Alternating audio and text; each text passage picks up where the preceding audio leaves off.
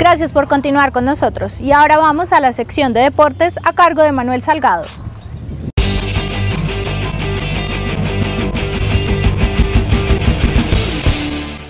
Buenas tardes, bienvenidos a los deportes. La semana anterior se realizó la fase municipal de los Juegos Intercolegiados Supérate en el municipio de Suezca. Hablamos con el profesor Osney, encargado del baloncesto de la sección primaria del Colegio Gonzalo Jiménez de Quesada.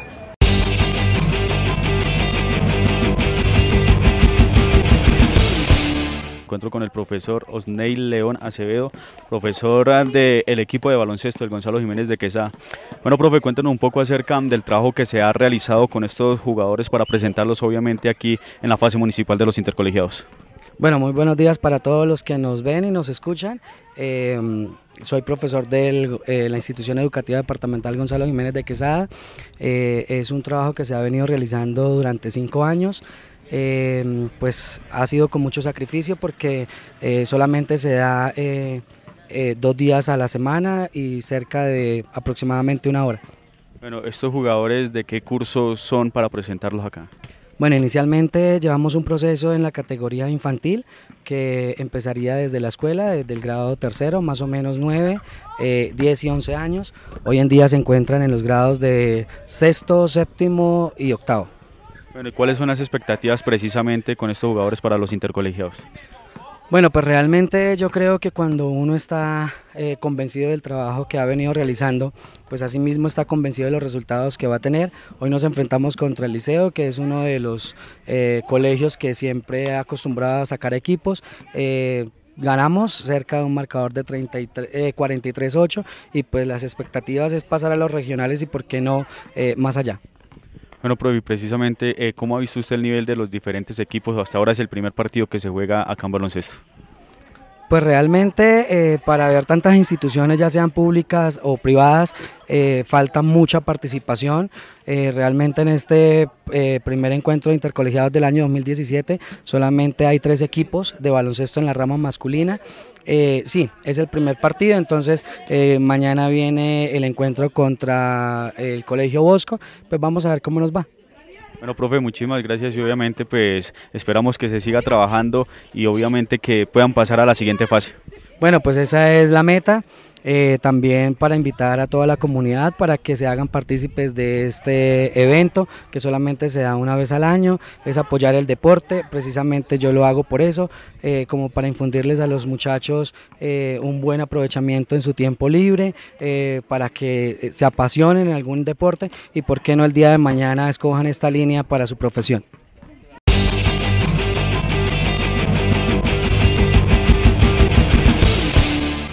Y hasta aquí los deportes, los dejo en la sección de cultura y entretenimiento a cargo de Daniel Castelblanco. Feliz tarde para todos.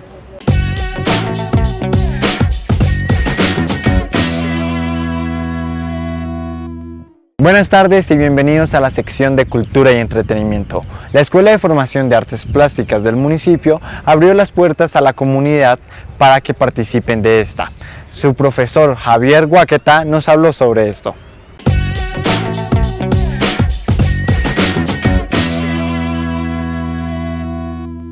Bueno, nos encontramos con el profe Javier Guaqueta, profesor de la Escuela de Formación de Artes Plásticas. Profe, ¿hace cuánto inició esta escuela? Bueno, nosotros venimos trabajando en esta escuela de formación eh, hace cinco años. Venimos trabajando con la Casa de la Cultura. ¿Por qué quisiste ser profesor de artes plásticas? Bueno, porque realmente desde, desde, desde muy temprana edad me, me gustó el arte, que es una, una forma de expresión eh, por medio de, crear eh, imágenes, eh, de crear, digamos, momentos de la vida, momentos de la historia. Entonces me, gustó siempre, iniciando en el trabajo de la, de la arcilla,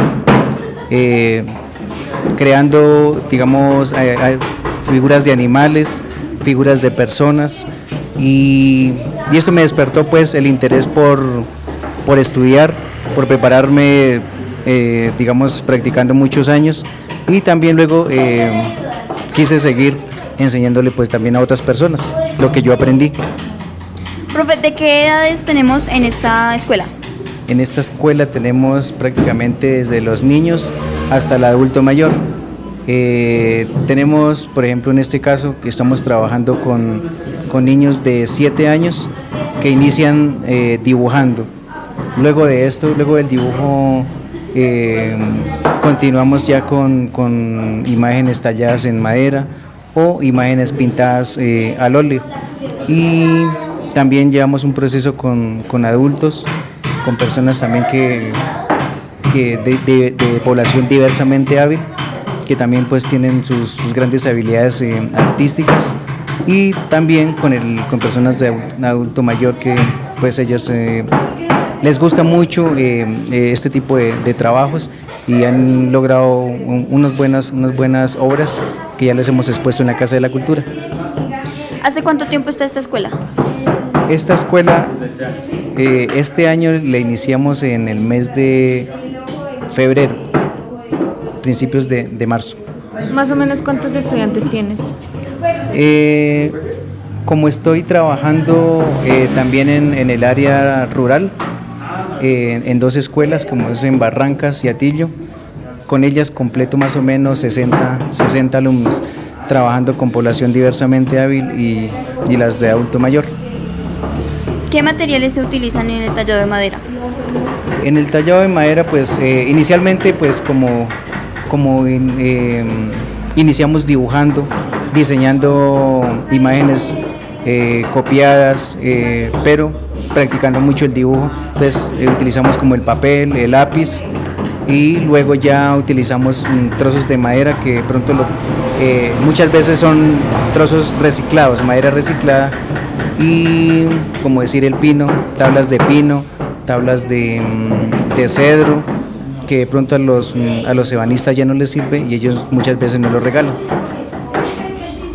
¿Qué deben tener los alumnos para entrar a esta escuela de formación?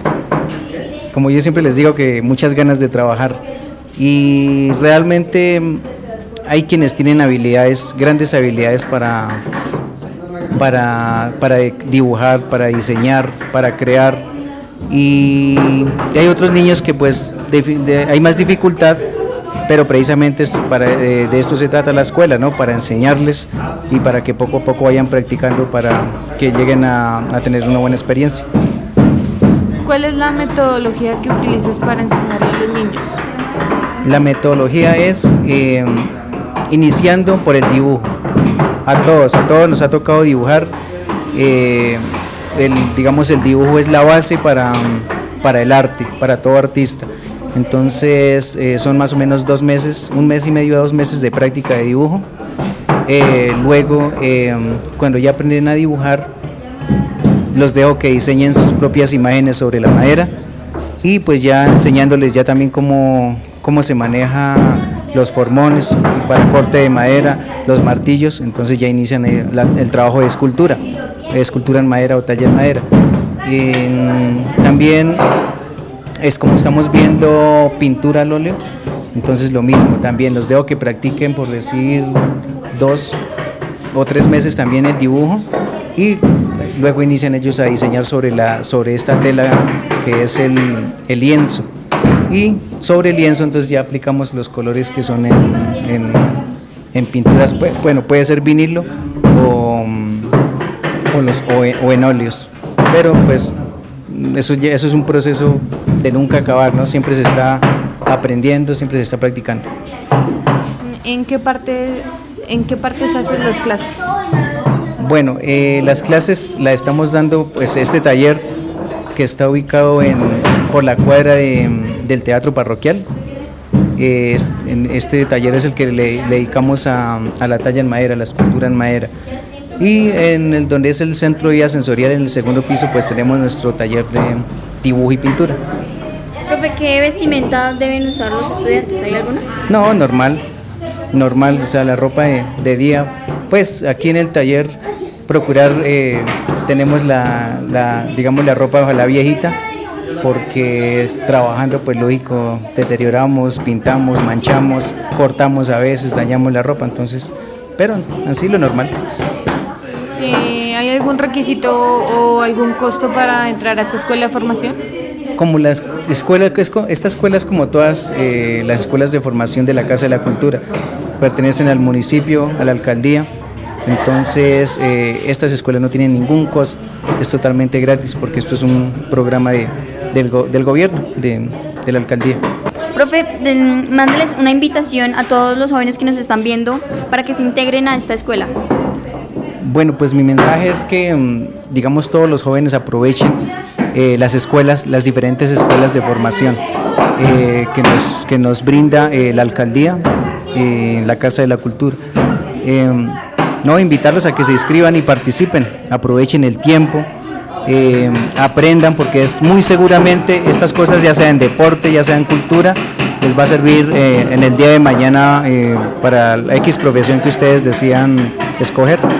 Entonces, eh, en esta escuela estamos trabajando los martes y jueves aquí en, en estos, en estos dos talleres de 2 a 5 de la tarde. Entonces, eh, cordialmente invitados a que se inscriban, ya sea aquí en ese horario o en la Casa de la Cultura. Muchas gracias, profe. Bueno, gracias a ustedes por visitarnos.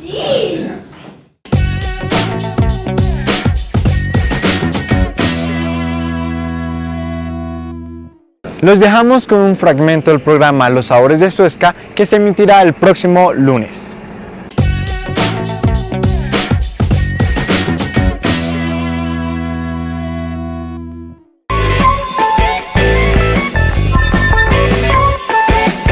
¿Sabía usted que el restaurante Mauro's Pizza no debería llamarse así? realmente debería llamarse es Marius Pizza, porque la esposa de él se llamaba María Eugenia, entonces le iban a poner era Marius. Cuando mandaron a hacer el letrero quedó como Mauros Pizza y ya realmente se dejó así.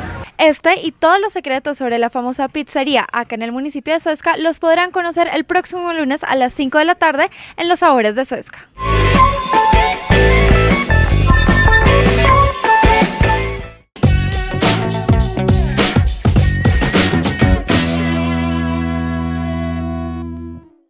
Y ahora vamos con las más sonadas de Noti Suezca.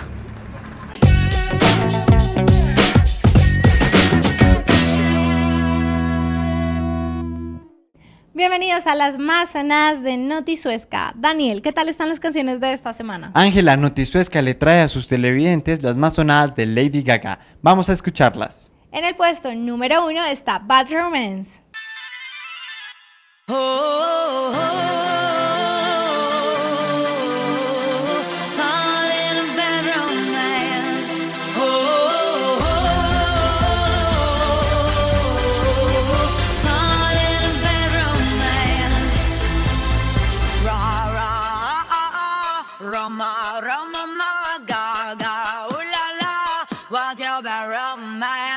En el puesto número 2 tenemos Poker Face.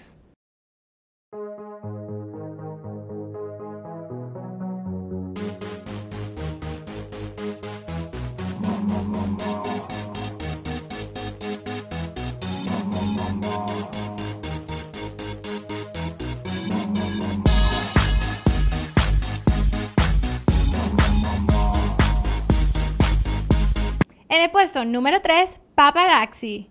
En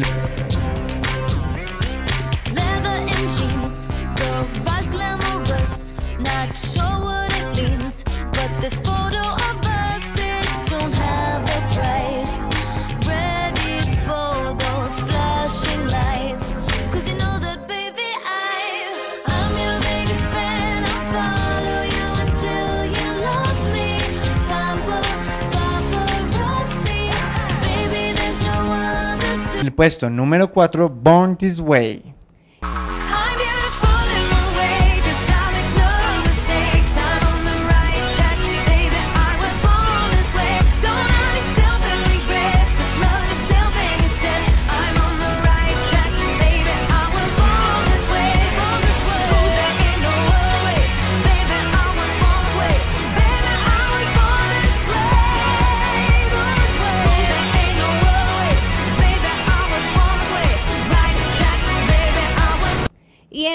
Número 5, finalizando este top musical de Lady Gaga, está Perfect Illusion.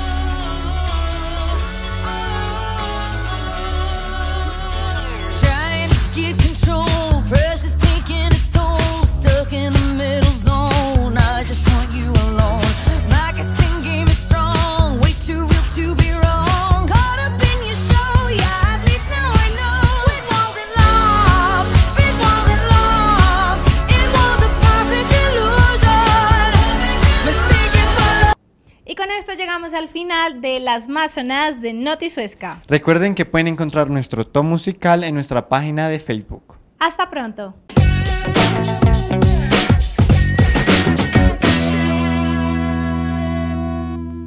Y eso fue todo en la sección de cultura y entretenimiento. Nos vemos en ocho días.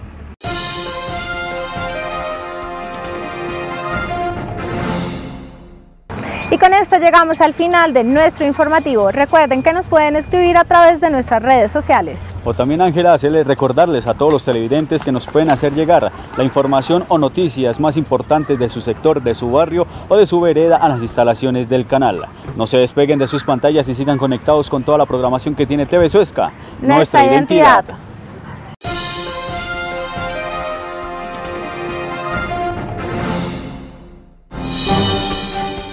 Todo lo que usted quiere y debe saber ya lo trae su noticiero informativo Noti Suezca. Desde la sabana norte de Bogotá transmitiendo el mejor y completo informativo de la región Almeida. Noti Suezca, nuestra identidad.